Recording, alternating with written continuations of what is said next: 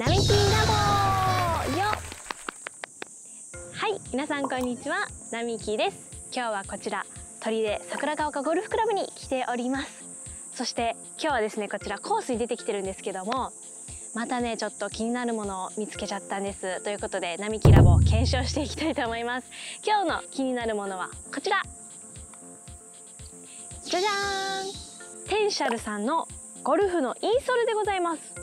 ちょっと皆さんインソール。これだけでねちょっと変わるのかなっていうのを正直私も思ってるんですけどもここのテンシャルさんのインソールはですねちょっとねこう見てください。ちょっと映像で伝わるか分かんないんですけどかかとがね厚みがあって 2mm ぐらいあるんですけどこれをすることによって指先をうまく使える。要するに指先にちゃんと力を入れてショットができていいって言うんですよ。ちょっとねこんインソールで変わるのかなっていうのはあるんですけどもで今回そのインソールも2種類ありましてこちらがテンシャルインソールゴルフ。そしてもう一つ種類があるんですけどもそれが私今こちらへ入れさせていただいているのがテンシャルインソールゴルフカーボンというもので私が今入れてるのはカーボンが入ってます。でこれちょっと何が違うのかというと、まあ、カーボンが入っていることによってよりバネというかいうのが使えて飛距離アップとかスコアメイクに直結するっていうんですよ。なので、まあ、簡単に言うとこのインソール入れてるだけでスコアアップしちゃうって。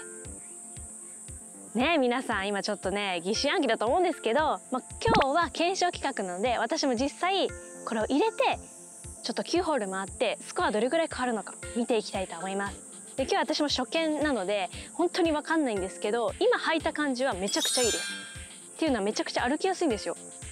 で私以前あのジムの動画でトレーニングをしに行ったんですけどその時に言われたのがすごい扁平足って言われて土踏まずのところがこう膨らみがなくてペタってしちゃってるから力入んないんだよって言われたんですよ。って思ったらちょうどこのインソールが出てきて土踏まずがちゃんとね空洞ができてすごい今私すごい歩きやすいんですよ。なのでちょっとこれは結果出るんじゃないかなと思います。でこれ2種類あってもう一つのこちらをですね今日カメラマンしてくださってる方に一応今入れていただいてます。なのでこちらの普通の通常のインストールの方の感想はちょっとカメラマンさんに、え、聞いていきたいなと思います。でこちらの、え、インソーラはあの普通の、まあ、一般的なインソールなのであのゴルフシューズだけじゃなくても普通のシューズにも入れられるそうなんですね。なので今日カメラマンさんは普通のシューズにこれを入れ入れてもらってます。なのでこの辺の使用感とか、えー、実際スコアどうなるのかをちょっと見ていきたいと思います。さあじゃあ早速やっていきましょう。お願いします。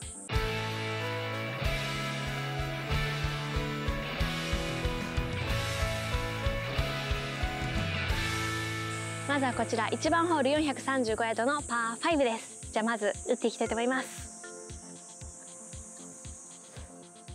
ちなみに今立ってる感じどうですか？もうめちゃくちゃ立ちやすくてなんかね足の疲れる感じが全然ないです。足が軽いと言いますか。勝手に前に足が出ていってくれるようなそんな感じです。よしじゃあ行きます。お願いします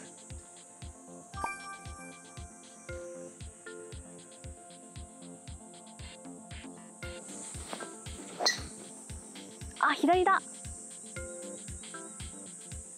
あでも全然当たらなかったので打てますね。オッケーオッケー。今スイングした感じも足ぶれなかったん分かりました？いつも結構私フィニッシュ取れないんですけど。おおなんか芝結構疲れてくるじゃないですか。まあまだ1ホール目なんですけど。全然足取りが軽いですね。すごい楽ち。これだとなんか18ホールいけそうな気がしますさあボールありました。意外と超えてくれて飛んでます。残り260ヤードですちょっとまだピン見えないんですけどちょっと左ドッグなのでウッドでこれ打てると思うので打ちます。あのちょうどバンカー方バンカーの方ですね。おおなんかブレないぞ。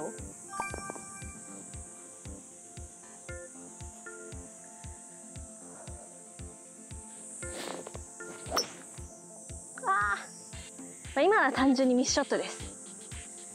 ちょっとラフに噛まれちゃった。さあ行きましょう。まだ結構ありますね。まだ180ぐらいあります。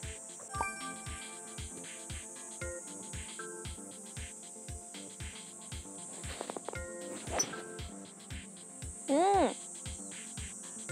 あでも進んでいってくれました。ちょっと低いですが。なんか大ミスにはつながってないですね。今日は暑いです。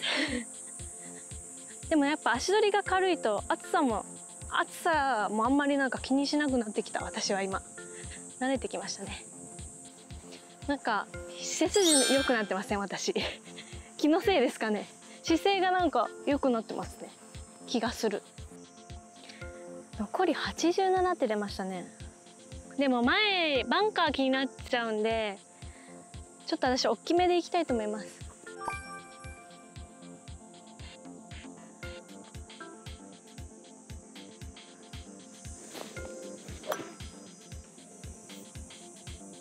おーよかった。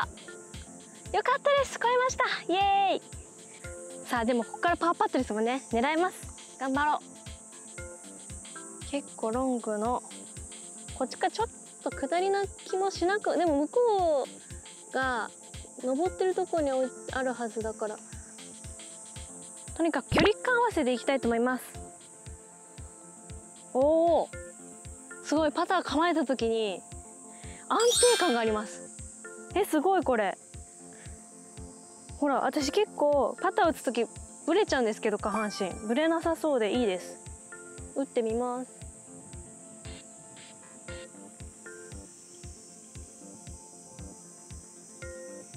もうちょい。うん。もうちょっと行きたかったけど欲を言えば。OK です。なんかよくパター打つ時に私下半身が動いてるってよく言われちゃうんですよ。で意識はしてるもののなんかって思ってたんですけど今日しっくりきました。こうちゃんとキープできてる感じ。あここからちょっと上りのスライスラインだと思います。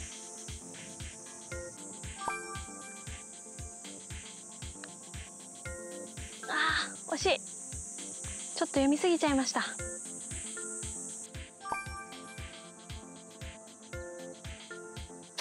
うんよし。ダボです。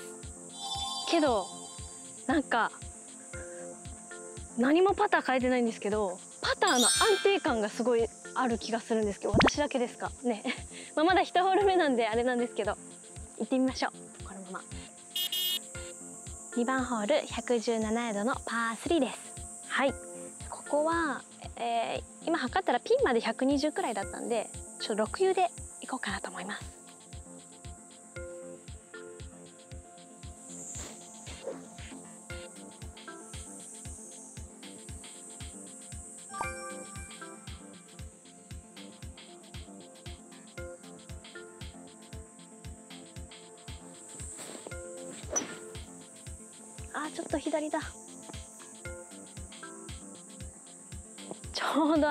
プレスリーのラインまで行きました。でも距離的には良かったんですよね落としどころは。でちょっとこれがグリーンに落ちてたら転がってピンに寄るっていうイメージだったんで。ありました。ちょうどこのプレスリーのとこ黄色のとこにありますね。おお距離ぴったり。残り20ヤードです。56でいきたいと思います。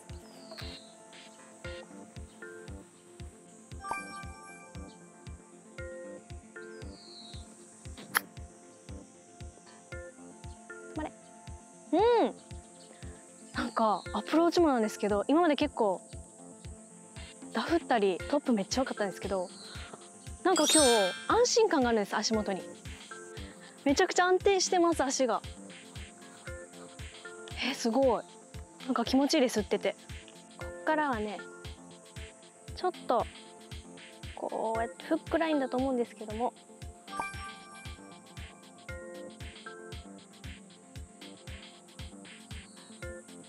切れなかった。あー悔しい。入れます。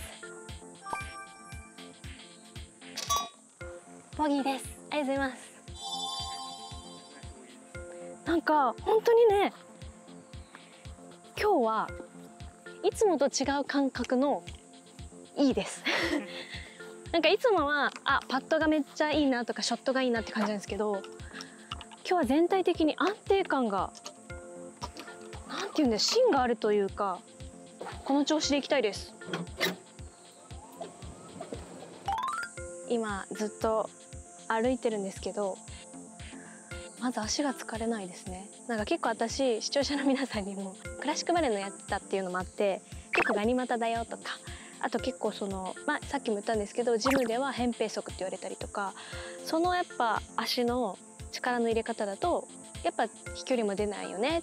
って言われたことは、まあ、何度かあってねどうやったら治るんだろう。でもそういうのってもう生まれつきじゃないですか。だから癖でどうやって治んだろうと思ってたんですけどこれ履くとその扁平足もやっぱここにジマーズのとこに空洞できるんで力の乗り方が全然違くてすごいあのなんだろうストレスなく触れるんですよね。それがすごくいいです。そうあとなんかよく私もなんですけどアドレスした時にあの重心が後ろってよく言われちゃうんですけどなんかやっぱそれって日本人あるあるというかあるらしくて結構浮き指っていうんですか？になりやすいらしくてそれをこのインソールで入れることでそれも改善されるらしいんですよ。なのでちゃんとしっかりこう前傾した時に体重もしっかり乗れる浮き指にならなくて指にちゃんと力が乗るから力を与えられるらしいんですよね。それをいう風に書いてあって私も確かに今振ってみて思ってます。あれいつもと感覚違うなみたいな。さあじゃあ続きましてこちら。3番ホール314ヤードのパー4です。今のところねダボボギーと来ててまあまあなかなかいい感じです。これも崩らないでいいペースでいっていけばちょっといいスコア出るんじゃないかなと思うので頑張ります。よしじゃあ行きます。目標はあの黄色旗方向で行きます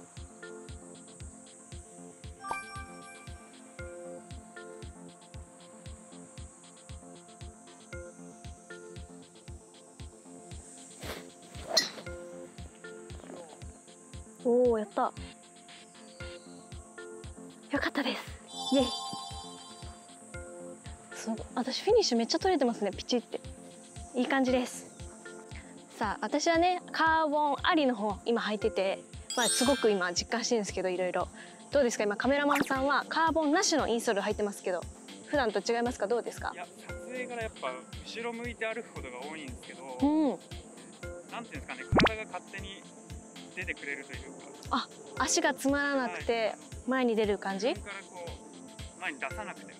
へえ例えば結構ライとかが悪いと、はい。結構後ろ気にしたりするんですけど、うんうんうん。なんか安定感がやっぱ、はい、ねえこれ不思議ですよね。これ私も本当ね履い履くまでは正直ちょっと疑ってたとこもあったんですけど履いたらすごい楽で。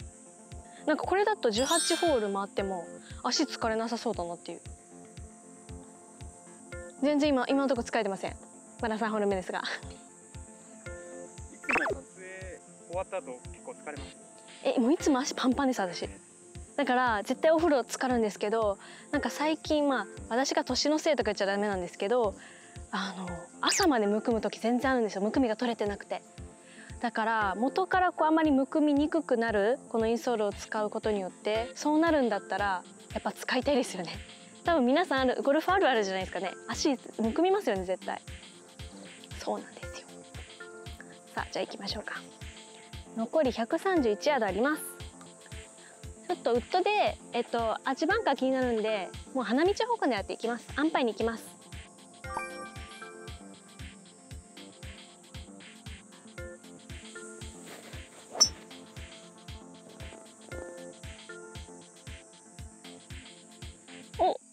あれちょっとごめんなさい。行方が見えなかったですけど。いいとこ行きました多分。ちょっと花道より左行ったんですかね。よかったです。皆さんいいとこです。いいとこにありますよ。よかったよかった。残り21ヤードです。さっきもね20ヤードだったんで56度でちょっとさっき大きかったのでそれよりかちっちゃめに打てるようなイメージで。ただここはこのエッジの部分グリーンまでが長いのでしっかり打たないと食われちゃうので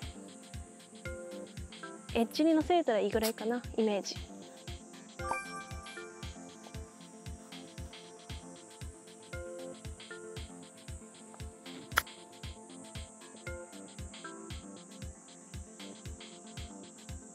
オッケー。いい感じでした。今のところ私苦手なアプローチがトップで振りがないんです。やりました。え超いい感じ。今日パーチャンス多くないですか？てか全部パーチャンスですよね一応。あのすいません。ターボ叩いちゃってるんですけどパーパッとパーチャンスあります。なんだろうすごい。私も安心して今日ゴルフできてるんです。安定感がある。ほぼまっすぐだと思うんですけどちょっと切れるなら。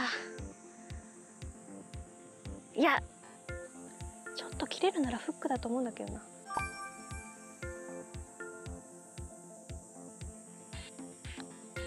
強い切れませんでした。ほぼまっすぐでした。よし。これ入れましょう。絶対。ボギーパットね。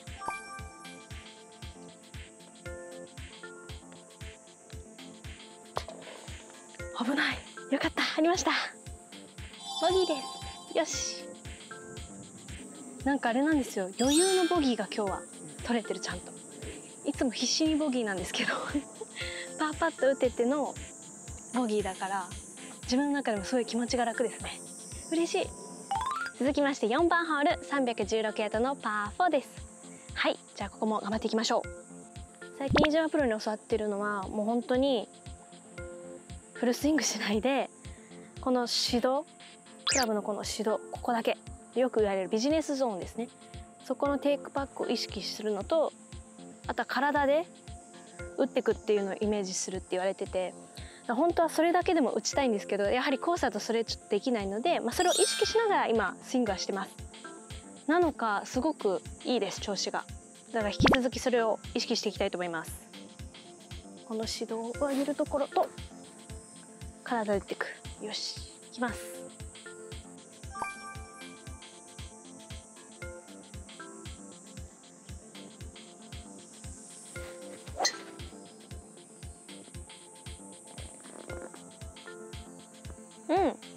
右行っちゃいましたけど OK です。OKOK ちょっと今早かったです。自分で分かりました。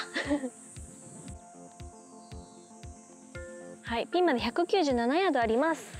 はい。ピンまで197なのでまだまだあるのでちょっとウッドでいこうかなと思います。なんですがここでちょっとキーが気になってしまうのでもう花道方向行きたいと思います。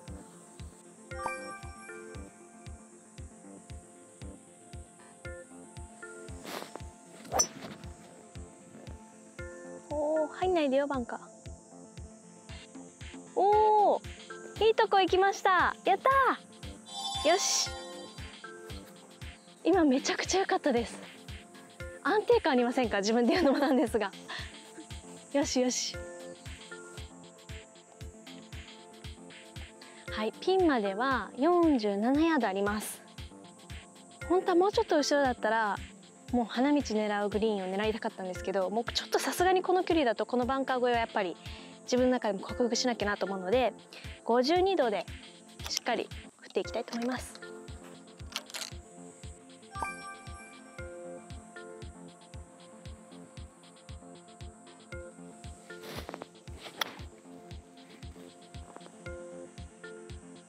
おお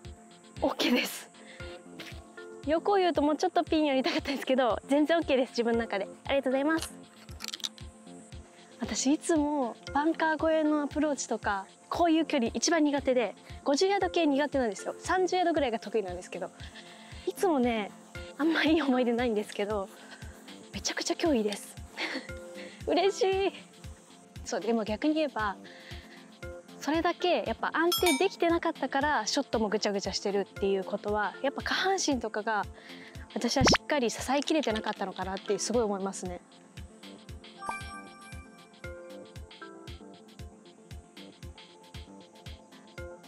ちょっと弱いかも。はあ、ちょっと弱かったです。でもストロークはすごい安定してたと自分でも思うんですけど距離感がるとするならいやでもほぼまっすぐだと思います。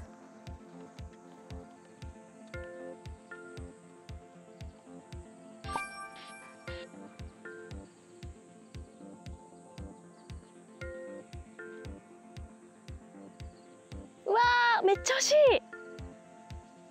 悔しいです。入れます。ダボです。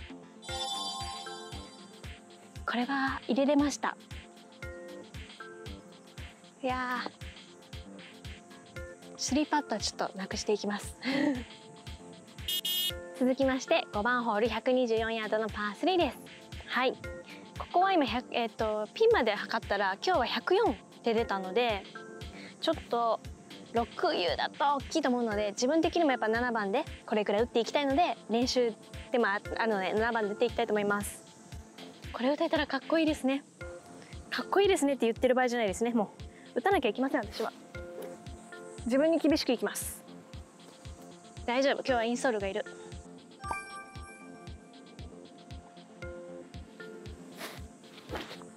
あー違う。これはうまく打てませんでした。でも大きなミスにはならなかったです。あの方向はまっすぐ行きました。はい。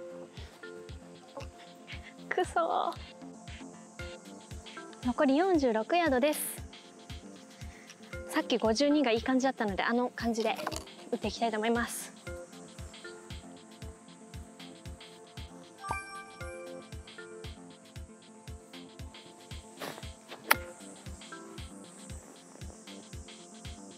うん。おー距離感はいい感じです。OK ちょっとさっき打ち切れなかったのでしっかり打ちます。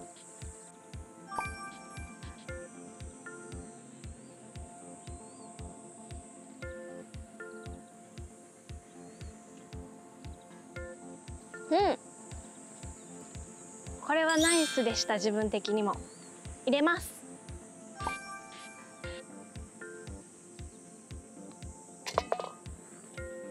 ボギーです。イエーイ。よしよし。今のファーストパットナイスです。自分でナイス。よかった。